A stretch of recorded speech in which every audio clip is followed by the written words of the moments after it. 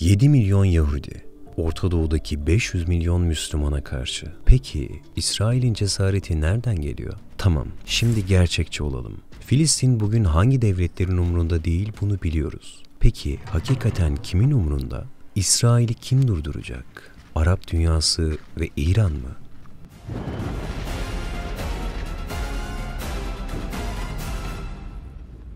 Gazze'de normalleşen soykırım ve Lübnan'da yüzlerce sivilin ölümüne neden olan siyasi suikastlarla İsrail artık kontrolden çıkmış uluslararası bir tehdit. Uh, excuse me, can we talk to you about what's happening in Gaza right now? Hey, um, can we talk about what's happening in Gaza right now? what's happening in Gaza right now? We can talk. Uzlaşmacı Batı ise elbette hiçbir şey yapmıyor. Hatta bu davranışa göz yumuyor ve aktif olarak destekliyor. Bunu artık hepimiz biliyoruz. Were there not an Israel, the United States of America would have to invent an Israel to protect her interest in the region. Netanyahu'nun Gazze'deki sivilleri hedef almadığına dair fütursuzca yaptığı açıklamalar, ABD'li senatörler ve temsilciler meclisi üyeleri tarafından tam 79 kez alkışlandı. 79 kez. I came to assure you today of one thing we will win.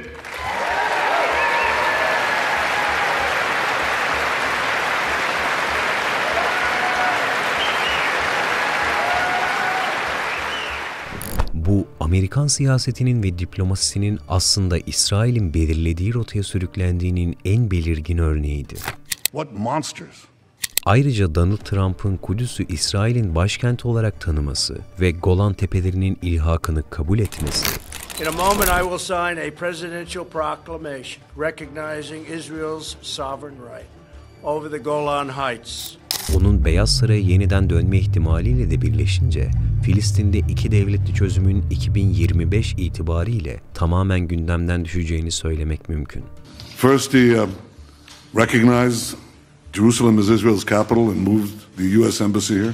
Bizzat ABD'nin arabulucusu olduğu 1992-1995 yıllarında imzalanan Oslo anlaşmalarının da artık bir hükmü kalmadı. Bu nedenle Orta Doğu bölgesinin bir araya gelip İsrail'i durdurmasını bekliyoruz.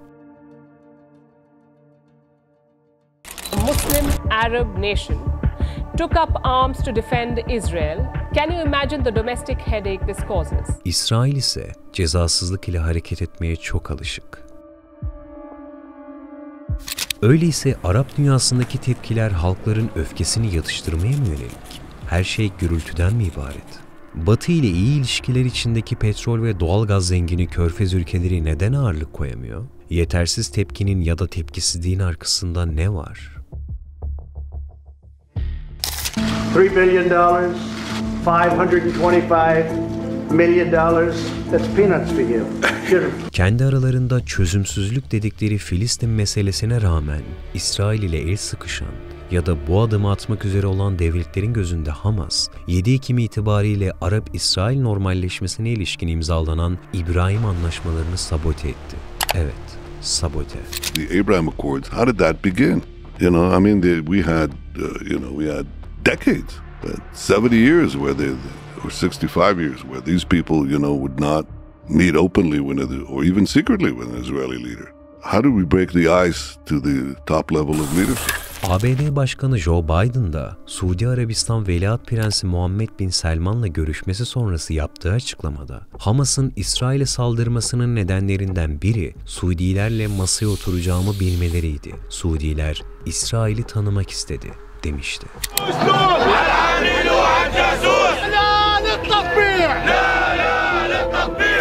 2002'de Suudi Arabistan, Filistin devletinin kurulmasını şart koşan Arap barış girişimine öncülük etmişti. Arap Birliği'nin İsrail'i tanımasını öngörüyordu.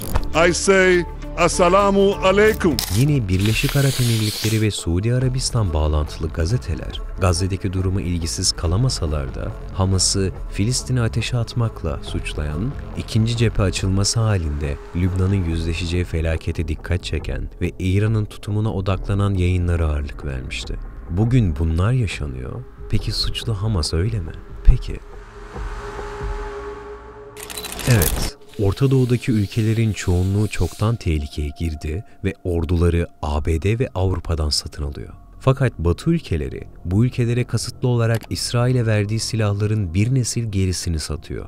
Dolayısıyla Orta Doğu'nun tüm askeri sistemi değişmedikçe orduları İsrail için hiçbir tehdit oluşturmayacak.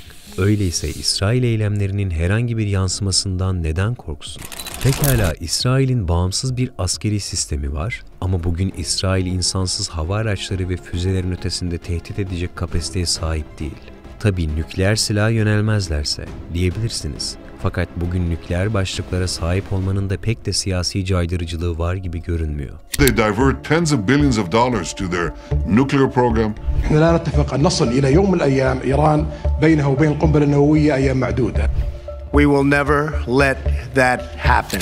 Ki o zaman bile İran'ın İsrail'i tehdit edecek askeri kapasiteye sahip olması için İsrail'e sınırı olan ülkelere ihtiyacı olacak. My interest is to make sure that Iran doesn't have nuclear weapons. End your pursuit of nuclear weapons. Stop testing and proliferating ballistic missiles. Yani İsrail'i vurmak için kullanabilecekleri silahlara sahip bağımsız bir orduya sahip olmak, Orta Doğu ülkelerinin çoğuna ihtiyaç duydukları omurgayı verebilir. Tabii bu umurlarındaysa. Peki bu durumda Arap dünyası Filistin'den vaz mı geçiyor? Mısır ve Suriye'nin 6 Ekim 1973'te İsrail'e karşı başlattığı Yom Kipur Savaşı'nın amacı, İsrail'den 1967'de işgal ettiği Golan Tepeleri ve Sina Yarımadası'nı geri almaktı. The Israelis are having a much harder time, fighting much harder to maintain their positions. İsrail'in Yom Kipur Savaşı'nın etkilerini hatırlaması, sivilleri bombalamadan önce iki kere düşünmelerini sağlayabilirdi. Fakat bu savaş İsrail ile Arap ülkelerinin bugüne kadar karşı karşıya geldiği son muharebe oldu. 2019'da Netanyahu, Mısır, Suudi Arabistan ve Ürdün ile birlikte İran destekli Husilere karşı bir konsensüs geliştirdi. המשטר באיראן לא מבין את נחישותנו להגן על עצמנו ve dihişutenu ligmol leoyvenu. Bu konsensüs, ABD Merkez Kuvvetler Komutanlığı'nın koordinesinde bir askeri müdahaleye dönüştü. Bölgedeki ülkeler, İran'a doğrudan saldırı olmazsa İsrail'in operasyonlarına hava sahalarını açıyor ve destek veriyor. Ancak İsrail'e saldırı olursa bu ülkeler topraklarındaki ABD, İngiltere ve Fransa'nın gücünü kullanmaya razı oluyor. Sonuç olarak bu denklemin ortaya çıkardığı tablo, Arap dünyasının İran'ın vekil örgütlerinin oluşturduğu tehditten kurtulmak uğruna Filistin halkından çoktan vazgeçtiğini gösteriyor. Anahtar batıdan yüz çevirmektir. Ama bugün Orta Doğu'nun liderleri İsrail ile sahte bir yüzleşmeyi bile umursamıyor.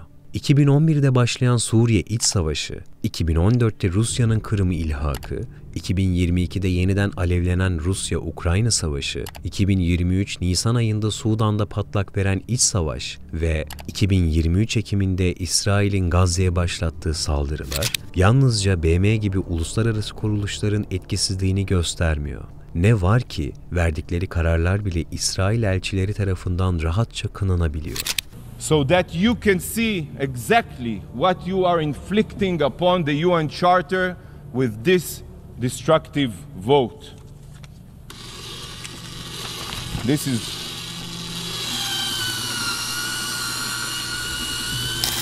Görünen o ki bu ülkeler uluslararası topluma haber verme gereği duymadan Filistin'de iki devletli çözümü ortadan kaldıracak adımları çoktan kararlaştırmış.